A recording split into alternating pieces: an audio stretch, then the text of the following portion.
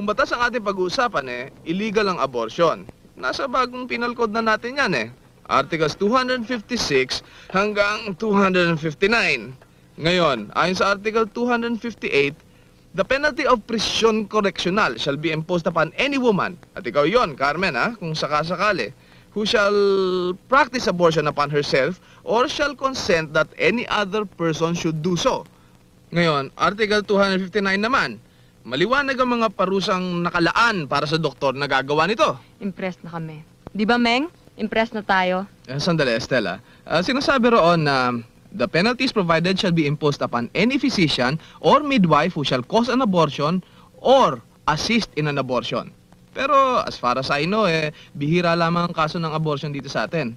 Usually, nagkakaso lamang kapag namatay yung babae o kaya... Ay naku, Meng, ikaw hindi ka mamamatay. Namanda mo ka katulad ko.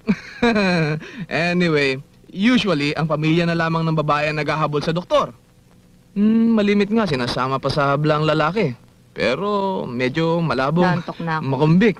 Meron nga akong isang kasong alam eh, pinarusahan ng doktor, pero pinakawalan ng lalaki. Unfair. Dapat yung lalaki makulong. Lalo na't hindi naman niya pinilit o pinersa ang Ay, babae. usually naman yung mga lalaki namimilit eh. Ang problema nga, sinong tetestigo? Hmm. Ako, titistigo ako. Siyempre, ang mga kasabat ayaw masabit. At saka kadalasan pa nga riyan. Pagdating mo sa doktor, papipirmahin ka ng mga papeles na nagsasabing nagbi-bleeding ka na nang dumating ka sa kanya. Ibig sabihin, hindi intentional ang abortion. Hmm, hindi kasalanan ng doktor. Matalino, no? Pero sa Amerika, legal na ang abortion matagal na. 1973 pa yata. Eh tayo naman, nasa Middle Ages pa eh. Ayon sa Korte Suprema nila, may karapatan ng babaeng desisyonan ng bagay na ito para sa kanyang sarili. Of course! Eh, siya at ang kanyang Of doktor. course! Hanggang ikatlong buwan lamang. At kapag lisensyado ang gagawa. Ay, miski na hindi lisensyado. So ano ngayon ang gagawin ko? Nasa iyo yun. Decision mo yon. So we're back to zero. Yeah. Excuse me. Ay, Bobby, halika. Hi. Si Bobby, boyfriend ni Carmen. Ah, come in, come in. Have a seat.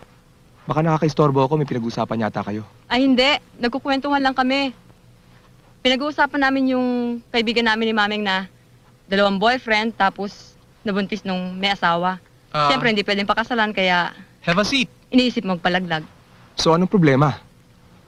Wala, I was just explaining to them the legal aspects of abortion. So, what are the legal aspects of abortion? Well, definitely illegal. Di ba totoo naman kahit sa Catholic Church bawal ang abortion? Yeah. Di ba may lakad tayo? Tumawag ako kanina sa opisina.